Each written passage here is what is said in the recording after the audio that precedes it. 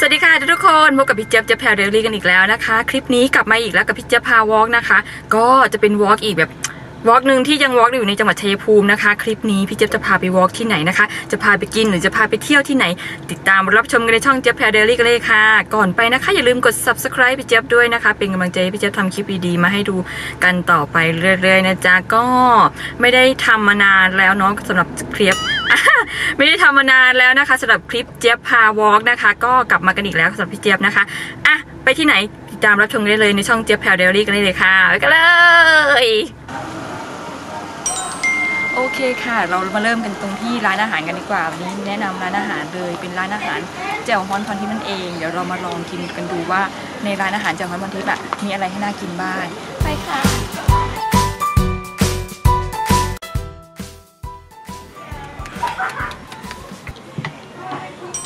เคค่ะ เดี๋ยวเรามานั่งกันซุ้มในซุ้มแล้วนะคะ ซุ้มเขาจะมีหลากหลายมากเลยนะ อันนี้เราจะนั่งตรงซุ้มที่อยู่ต้นต้นๆซุ้มนะคะ ก็จะเป็นซุ้มที่ p r i v a t ส่วนตัวมากแล้วก็มีแสงสลัวสลัวๆเหมาะแก่คนที่รักแอบรักขโมยน้อยมากินก็เมนู recommend ของที่ร้าน เราก็จะมาสั่งเมนูกันก่อน คือมากินมาร้านแจ่วฮอนเนาะเราจะกินต้มยำก็ไม่ใช่ เราต้องกินแจ่วฮอนใช่ไหมคะ ดี๋ยวนี้เราจะสั่งแจ่วฮอน เป็นหมูชุดใหญ่แล้วกันเนาะเพราะว่าค่ะเจ๊อะไม่กินเนื้อ แต่ผู้จัดการเจ๊อะกินเนื้อ ก็อาจจะมีการแยกแยกเนื้อกับแยกหมูกันนะคะ ก็ก็ไม่เห็นจะกิสั่งเนื้อด้วยกัเลยอุ้ยตายแล้ว ก็อ่าเดี๋ยวสั่งแจ่วฮอนหมูชุดใหญ่นะคะ แล้วก็อีกอันนึงคือมันจะเป็นอาหารจากพวกอีสานอะเยอะแยะมากเลยมีลาบมีต้มเนื้อ มีอึ่งเปาะมีเนื้อติดไม้มีลิ้นย่างมีข้นหน่อไม้ คือจะเป็นอาหารอีสานพื้นบ้านหมดเลย เดี๋ยววันนี้เราจะสั่งอีกตัวหนึงก็คือนี่นะก็คือ เอ็นไก่ทอดอ๋ออุ้ยนึกตั้งนานจะเป็นเอ็นไก่ทอดนะคะที่ที่เด็ดๆ แล้วก็เดี๋ยววันนี้พี่จะสั่งข้าวผัดเกลือด้วย เพราะว่าหิวข้าวยังไม่กินข้าว ที่แนะนำอีกอันหนึงก็คือสลัดปลาชุดใหญ่ สลัดปลาที่นี่อร่อยมาก คือด้วยความที่เป็นคนดังอะนะคะแฟนคลับนดังก็จะมีแฟนคลับแบบเออ นี่เราต้องการแฟนคลับออกมาเพื่อเป็นค่ะต้องเพื่กาอรความส่วนตัว ใช่ค่ะ นี่จะพี่ก็ต้องปลอมตัวมานะคะ เนี่ยติดขนตาแบบหนามากปลอมตัวในการที่จะมากินนะคะปลอมตัวมาเยอะมากมีใครจำอะเดี๋ยวได้เราเลจะยฮะสั่งอีกอันนึงก็คือ เมนูแนะนำที่นี่ก็คืออีกอันนึงก็คืออะไรอะปลาจุ่มนะคะ ถ้าเกิดใครกินเนื้อหรือกินหมูไม่ได้ มีเมนูปลาแนะนำด้วยเหมือนกันนะคะ เดี๋ยวเราสั่งนี้คร่าวๆสอบถามราคาฮะคุณเจแพรอ๋อราคานะคะ ก็ทางร้านเขาบอกว่าราคาจะมีตั้งแต่ชุดเล็กแล้วก็ชุดใหญ่ ถ้าเจียวฮอนชุดเล็กเนี่ยราคาอยู่ที่ 100 บาทนะคะ ชุดใหญ่อยู่ที่ 150 บาทค่ะ ก็ถ้าเกิดใครสะดวกอยากจะเอาไปกลับไปกินที่บ้านก็ยังได้นะคะ มีบริการซื้อกลับไปกินที่บ้านด้วยนะคะอะเดี๋ยวเรารอรอนะคะ รออาหารที่จะมากระจายตรงหน้าเราว่ามีอะไรบ้างนะคะ เดี๋ยวพูดเยอะคนจะเบื่ออีเจ้อะไปหารอค่ะผู้จัดการฮะ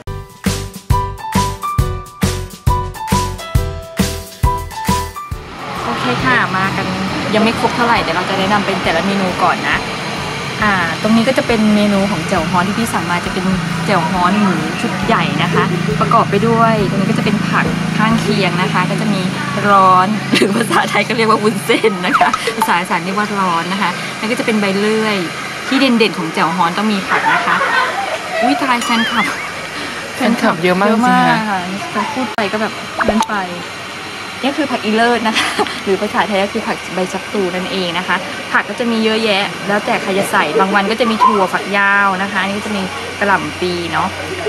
เมนูแจ่วฮ้อนหมูก็จะมีหมูนะคะ เนื้อหมูที่แบบสไลด์ค่อนข้างจะบางแล้วน่ากินมากตอนนี้คือหิวมากนะคะเผอิญเขาแนะนำมาอีกทีนึงก็คือใครอยากกินแบบใส่อาหารทะเลเข้าไปก็จะมีกุ้งนะคะ ก็จะมีกุ้งอ่าใส่เข้ามาด้วย น้ำซุปของเขาค่อนข้างที่จะเข้มข้น ตอนนี้เดือดแล้วอะแบบน่ากินมากเลยนะคะควันออกทีนี้สูตรเด็ดของแจ่วฮ้อนนะคือน้ำจิ้มของเขานั่นเองนะคะ น้ำจิ้มของทางร้านก็จะมีแบบเป็น 2 สูตรนะ อันนี้จะเป็นน้ำจิ้มที่เป็นแบบขมนะคะ ถ้าเกิดใครไม่ชอบกินขม ก็จะมีอีกแบบนึงก็คือเป็นแบบที่ออกแบบธรรมดานะคะ จะเป็นสูตรธรรมดากับสูตรขมนะคะ ถามว่าอร่อยไหมพี่จะบอกเลยว่าอืมพี่จะให้ดูน้ำจิ้มของเขาที่มันเป็นสูตรอย่างนี้ ค่อนข้างจะเหนียวข้นนะคะ ผสมไปด้วยข้าวเบื่อนะคะข้าวเบื่อภาษาไทยก็เรียกว่าข้าวข้าวเหนียวที่เอาไปป่นป่นๆๆแล้วก็เอามาใส่กับน้ำจิ้มนะคะ ค่อนข้างจะอร่อยมากอืมคคือหิวแล้วอะตอนเนี้ยหนึ่งนะคะเสร็จแล้วถ้าเกิดใครยังไม่สะใจยังชอบเครื่องปรุงไม่สะใจ ก็เขาก็จะมีมะนาวบีบให้ใส่ไปในน้ำจิ้มนะคะ แล้วก็จะมีเครื่องปรุงที่เขาเตรียมไว้ให้นะคะอะเปิดตรงไหนเปิดตรงนี้ เครื่องปรุง ใครอยากใส่ข้าวคั่วเข้าไปก็ใส่เข้าไปได้พริกป่นหรือจะใส่น้ำตาล ใครชอบหวานติดหวานใส่ได้นะคะ แต่อย่ากินหวานเยอะเพราะว่าเดี๋ยวเบาหวานขึ้นนะคะ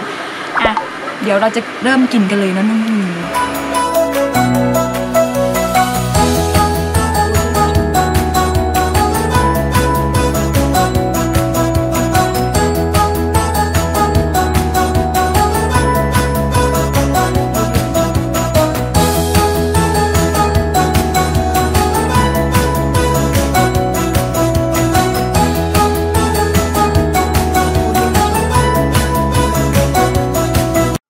ดี๋ยวเราจะใส่วุ้นเส้นเป็นลำดับสุดท้ายแล้วก็กุ้งเป็นลำดับสุดท้ายเพราะมันจะสุกเร็วนะคะเดี๋ยวเราจะปิดฝาหม้อกันไว้รอสักพัก เดี๋ยวรอสักพักก็จะได้กินแล้วเย้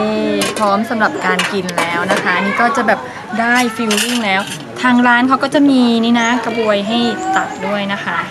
ก็เน้นความสะอาดของทางร้านก็จะมีความสะอาดนิดนึงนะ วิหอมมาก ทีนี้เราก็เอากุ้งใส่ได้เลยนะคะ กุ้งที่เราจะเตรียมจะกินนะ กุ้งสดมากอะดูสิ กุ้ง ก็จะมีนี่นะ เสริมเข้ามาคือเอ็นไก่ทอดนะคะ เอ็นไก่ทอดของทางร้านก็จะเป็นเมนูเล็กคอมเมนต์อีกทีนึงนะคะ น่ากินมากอะอะ เรามากินไปพร้อมๆกันเลยดีกว่า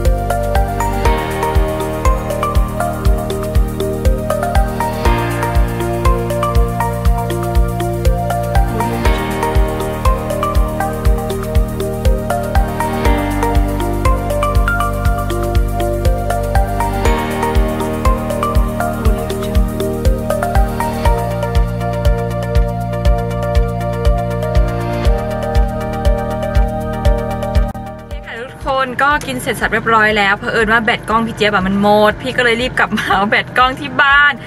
คือใจอะอยากจะปิดวอล์กที่ร้านมากนะคะ ก็กินเสร็จก็ปากจะซีดๆอย่างนี้แหละก็อร่อยมากนะคะ ถ้าเกิดใครอยากจะมาลองชิมร้านอาหารแจ่วฮอนพรทิพย์นะคะ ก็มาได้ที่อยู่ที่ตำบลบ้านเล่านะคะ จังหวัดเชัยภูมิเข้าไปที่ซอยบ้านนางเม้งนะคะ เข้าไปตรงซอยบ้านนางเม้งเสร็จแล้ว ก็จะอยู่ตรงกลางหมู่บ้านนะคะ ก็อยู่ฝั่งซ้ายมือนะคะ กับข้าวมีเยอะแยะตะแปะไก่นะคะ จะมีดนตรีด้วยโฟกซองเขาจะมีการเล่นดนตรีโฟกซองนะคะ ดนตรีสดนะช่วงวันจันทร์ถึงวันศุกร์นะคะจะมี 2 ช่วงนะ ช่วงเที่ยงถึงบ่ายสองแล้วก็ช่วงเย็นนะคะ6กโมงครึ่งถึง2องทุ่มครึ่งนะคะ ก็ไปดูไปชิมไปอิ่มอร่อยกันได้นะคะ ถ้าเกิดน้องๆคนไหนอยากให้พี่เจี๊ยบทำคลิปวอล์กพากินพาเที่ยวอีกนะคะ ก็คอมเมนต์กันมาได้เลยนะคะ คลิปนี้พี่เจี๊ยบอาจจะแบบเออเอาแค่ร้านเดียวไปก่อนนะคะ ร้านเจ้าฮอนนะ คลิปต่อไปจะเป็นร้านอะไรนะคะ อย่าลืมกด subscribe พี่เจี๊ยบด้วยนะคะ กดติดตามพี่เจี๊ยบด้วยนะคะ เป็นกำลังใจให้พี่เจี๊ยบทำคลิปดีๆมาให้ดูกันต่อไปเรื่อยๆนะจ๊ะ คลิปนี้ พี่เจี๊ยบลาไปพร้อมปากซีดๆอย่างนี้แหละนะคะ ไปละบ๊ายบายทุกคน เจอกันใหม่คลิปหน้าค่ะ บ๊ายบาย